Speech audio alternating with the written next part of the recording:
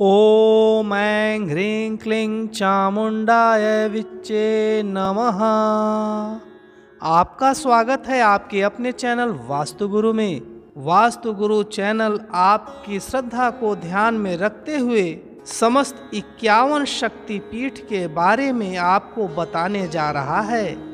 इसके क्रमशः इक्यावन एपिसोड होंगे और प्रत्येक एपिसोड में एक शक्तिपीठ की संपूर्ण जानकारी आपको दी जाएगी। जैसा कि देवी पुराण अथवा महाभागवत में कहा गया है, माँ शक्ति का ध्यान करते हुए आप समस्त इक्यावन शक्तिपीठों के बारे में सुने और जाने। इससे पहले हमारे चैनल को सब्सक्राइब, लाइक और शेयर करें एवं बेल आइकन ज़रूर दबाइए, जिससे आने वाले एपिसोड की पहली सूचना आपको मिल सके।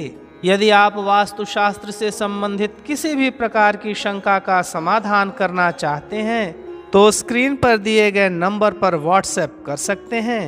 आइए सर्वप्रथम जानते हैं कि शक्तिपीठ के बारे में देवी पुराण में कौन सा श्लोक कहा गया है। पीठानि चैक पंचाशद भवन मुनि पुंगव अंग प्रत्यंग पातेन छाया महीतले शक्तिपीठों की इस उद्भव कथा का वर्णन कहीं कहीं संक्षेप में और कहीं विस्तार से विभिन्न पुराणों एवं शाक्त शैव ग्रंथों में पाया जाता है। इनकी संख्या भी भिन्न भिन्न बताई गई है। जैसे तंत्र चूड़ामणि में शक्तिपीठों की संख्या बावन बताई गई है। देवी भागवत में 108 और देवी गीता में बहत्तर। कुछ अन्य ग्रंथों में भी पीठों की संख्या भिन्न भिन्न पाई जाती है। किंतु देवी पुराण महाभागवत में शक्ति पीठों की संख्या इक्यावन बताई गई है। अब आइए जानते हैं कि शक्तिपीठ का निर्माण कैसे हुआ।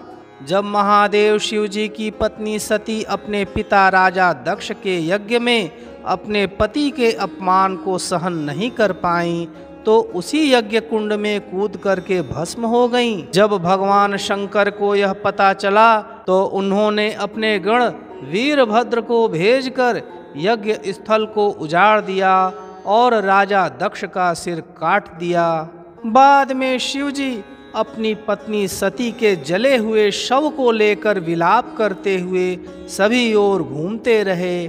उनका मोह भंग करने के लिए भगवान विष्णु जी ने सुदर्शन चक्र चलाया। जहाँ जहाँ माता के अंग और आभूषण गिरे वहाँ वहाँ शक्तिपीठ निर्मित हो गए। इन सभी इक्यावन स्थानों पर जगदम्बा भवानी के विभिन्न रूपों की उपासना की जाती है।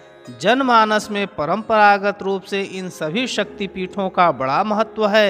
इन शक्तिपीठों का स्थान, वहाँ की अधिष्ठात्री शक्ति एवं भैरव का नाम तथा भगवती के किस अंग अथवा आभूषण आदि का कहाँ पतन हुआ था, इसका विवरण विभिन्न ग्रंथों तथा जनश्रुति के आधार पर प्राप्त होता है।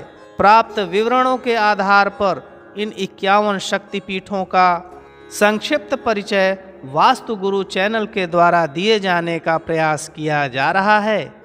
माँ आदि शक्ति का ध्यान करते हुए आइए जानते हैं शक्तिपीठ श्री पर्वत के बारे में, जिसके बारे में बहुत से भेद हैं एवं जानकारी बहुत ही कम उपलब्ध है। फिर भी हम सारी जानकारियों को प्रामाणिक रूप से आपके पास पहुँचा रहे हैं। वर्तमान में यह शक्तिपीठ लद्दाख केंद्र शासित प्रदेश के श्री पर्वत पर माना जाता है। यहाँ पर माता के दाएँ पैर की पायल गिरी थी। कुछ विद्वानों का कहना है कि यहाँ दक्षिण तल्प यानी कनपटी गिरा था। इसकी शक्ति है श्री सुंदरी और शिव को सुंदरानंद कहा जाता है। यहाँ पहुँचने के लिए निकटतम रेलवे स्टेशन जम्मू तवी है एवं निकटतम हवाई अड्डा लेह है।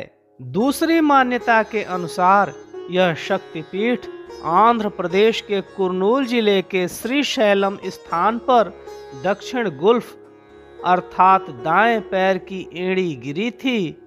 तीसरी मान्यता के अनुसार, कुछ विद्वान इसे असम के सिलहट से चार किलोमीटर दक्षिण पश्चिम अर्थात नैत्य कोण में जौनपुर में मानते हैं, हमारे शास्त्रों में यह तीन मान्यताएँ हैं।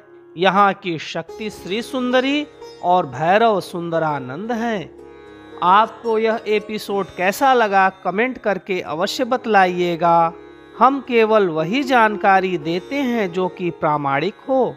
अगले एपिसोड में हम लोग पाँचवें शक्तिपीठ, विशालाक्षी शक्तिपीठ के बारे में जानेंगे। ऐसी ही प्रामाणिक जानकारी के लिए देखते रहिए आपका अपना चैनल वास्तु गुरु ओम ऐं ह्रीं क्लीं चामुण्डाय विच्चे नमः।